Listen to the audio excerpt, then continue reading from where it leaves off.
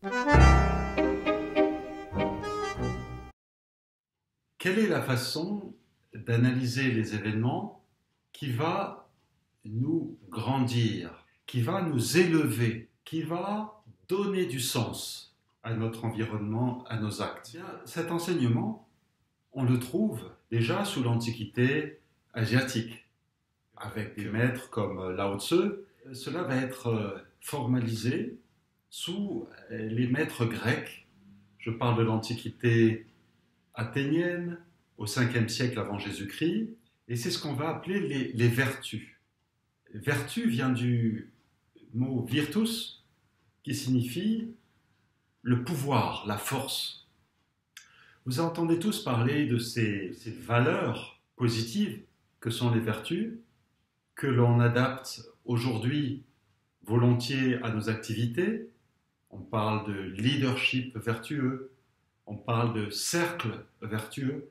Le christianisme médiéval reprend ces vertus de l'Antiquité pour en faire les vertus euh, cardinales et les vertus théologales.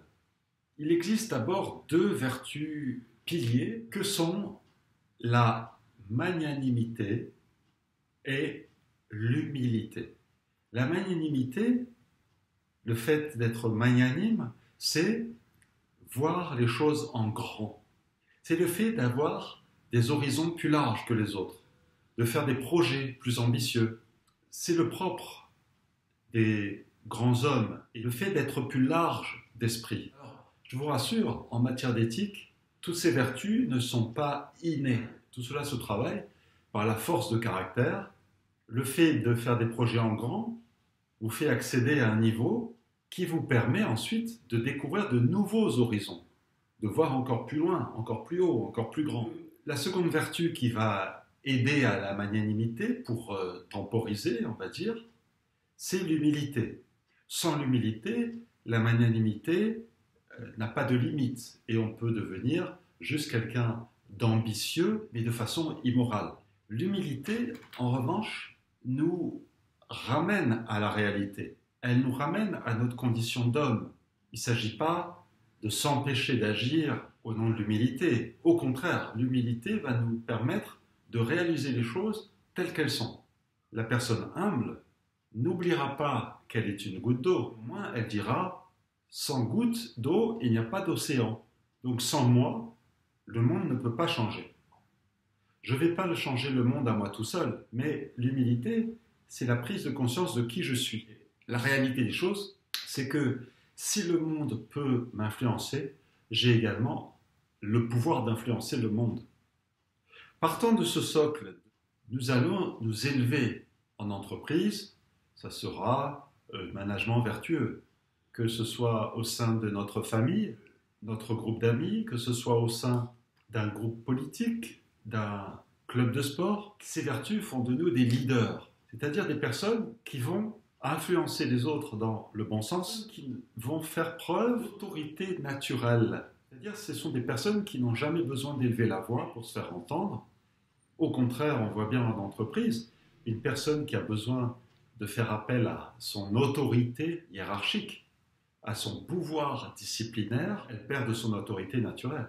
Au plus elle va utiliser son, son pouvoir de sanction, au moins elle sera écoutée au moins servira de modèle. Et donc, cette personne n'aura plus aucune possibilité de tendre à ce leadership vertueux de nouveau.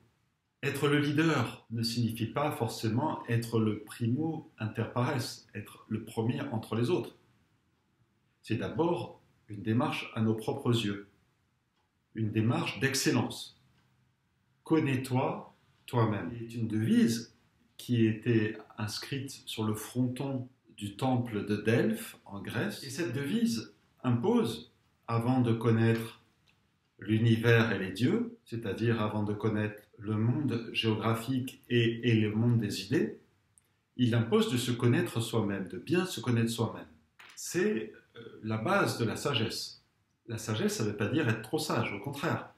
Qui vit sa vie sans folie n'est pas si sage qu'il le croit.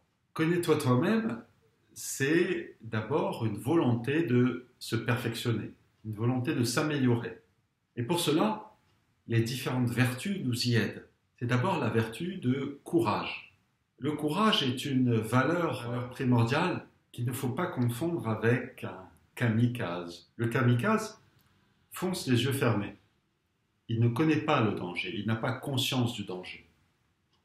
Les kamikazes, c'est ce surnom euh, donné aux aviateurs japonais pendant la guerre du Pacifique, qui décollaient sans avoir assez de kérosène pour revenir à leur base, donc ils savaient qu'ils allaient y laisser leur vie.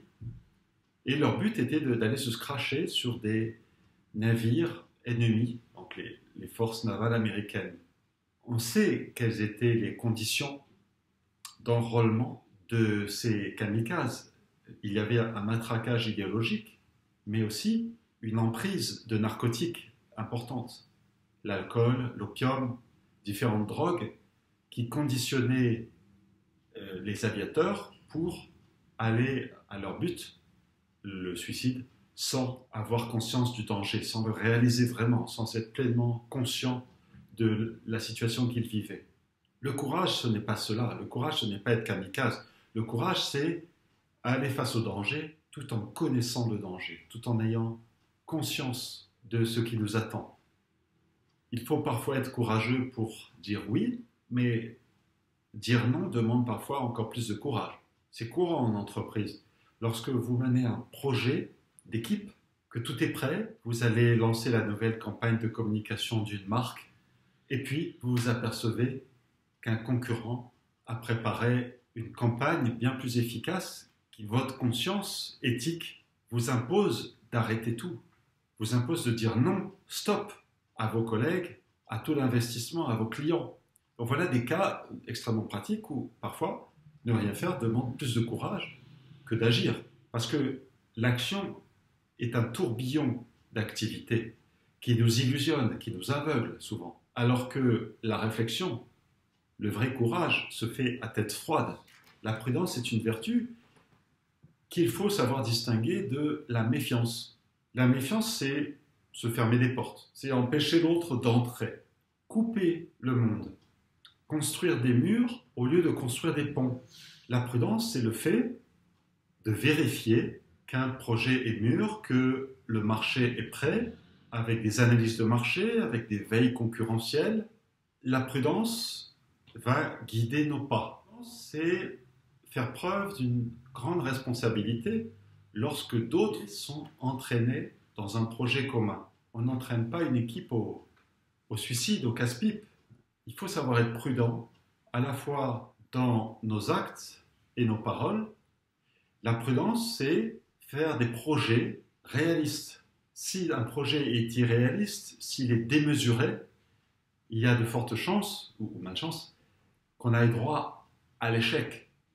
Une personne responsable est prudente, non pas méfiante. C'est-à-dire dans sa magnanimité, dans ses projets fous et ambitieux, elle reste prudente s'entourer par exemple de personnes de confiance, se méfier des personnes qui n'ont jamais fait d'erreur. En France, quand quelqu'un fait une erreur, il a perdu toutes ses chances. Un ministre qui fait une erreur perd son poste. Un député qui fait une erreur, on dit que c'est une erreur impardonnable. Alors qu'aux États-Unis, le pays de business ethics, Roosevelt disait qu'il ne s'entourait jamais de conseillers qui n'avaient pas fait d'erreur.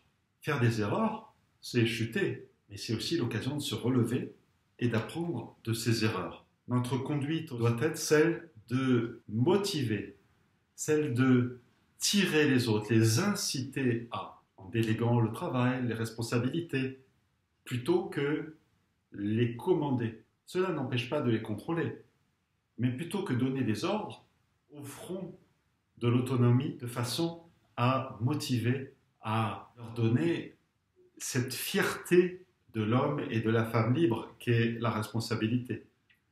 Lorsque vous êtes injuste, vous créez des rancœurs. La justice est un gage d'impartialité, de lucidité. Vous vous souvenez que Salomon est le fils du roi David. Salomon crée le temple de Jérusalem. Deux femmes se disputent un bébé. Chacune de ces femmes prétend être la mère de cet enfant. Salomon décide, par souci de justice équitable, de trancher l'enfant en deux et d'en donner une moitié à chaque femme. La véritable mère, ne pouvant supporter que son fils soit coupé en deux, va accepter que l'autre femme garde le bébé. Salomon, qui est intelligent et qui a une intelligence du cœur, a compris que le bébé doit être donné à cette femme. Voilà euh, la justice à la Salomon. C'est une justice intelligente, réflexive, anticipée, c'est une stratégie. Salomon a su se mettre à la place de la véritable victime. Connais-toi toi-même, un précepte de base de l'éthique, mais il y a aussi le fait de se mettre à la place des autres. Un travail extrêmement difficile, qui là encore n'est pas inné, mais qui se travaille quotidiennement, tout au long de notre vie. Et c'est de la prudence. En essayant d'élaborer un calcul de justice, on limite les risques. Au moins, c'est moins pire. Et c'est ça, l'éthique. L'éthique, c'est un compromis. On ne peut pas avoir une situation parfaite. Alors, on va tenter de concilier le meilleur possible. Ce qu'on appelle le self-control en anglais, en français, on va parler de tempérance. C'est le fait de pouvoir se maîtriser, se contrôler, particulièrement en période de crise, dans le feu de l'action. Une personne tempérée sait distinguer l'urgent de l'important. L'urgent, c'est le superficiel, les 100 tâches que l'on a à faire dans la journée, c'est ce qui va polluer nos journées. En réalité, on s'aperçoit que si l'on n'accomplit pas les tâches urgentes, dans la plupart des cas, elles sont réalisées autrement. Soit elles sont abandonnées, donc elles n'étaient pas si importantes que ça, soit d'autres personnes l'ont fait, donc ce n'était pas forcément à vous de le faire, et ça n'était pas la peine de laisser tout tomber pour s'occuper de ces urgences. Alors, sur quoi faut-il se concentrer si ce n'est pas sur l'urgent? L'important, c'est ce qui compte pour chacun d'entre nous. L'important va changer selon les regards de chacun, selon les envies, les expériences, les visions, les rêves de chacun. L'important, c'est la réponse que vous obtenez quand vous vous posez la question qu'est-ce que je veux avoir fait avant de mourir? Voilà une bonne question.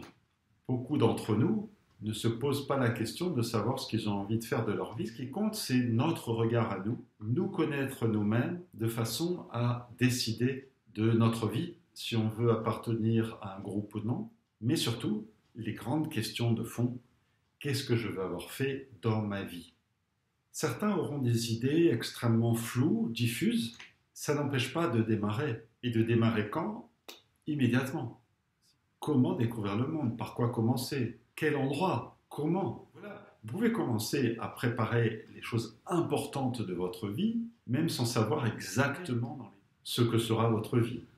Et, et tant mieux d'ailleurs si on ne connaît pas notre avenir, sinon on s'ennuierait. Ou cette part d'inconnu, c'est une chance d'avoir des surprises, et puis c'est une chance aussi parce qu'on peut planifier. tout cela, c'est en travaillant vos vertus que vous aurez le plus de chances de le réaliser. Alors, être parfait, c'est impossible, mais essayer de l'être, c'est possible. Tout le monde a le droit d'essayer. Et c'est ça peut-être qui est le plus important. Je serai jamais quelqu'un de 100% courageux, 100% magnanime, tempéré, 100% juste, prudent. Alors, à quoi bon? Et non, c'est un faux calcul. Parce que le véritable bonheur, le sens que l'on va trouver à notre quotidien de par nos actes, c'est justement le fait d'essayer de faire ce que l'on peut. C'est ça le plus important. C'est grâce aux autres que l'on grandit. Vous pouvez toujours décréter aujourd'hui, je vais faire tout pour être quelqu'un de sympathique. Je me déclare, je m'autoproclame sympathique.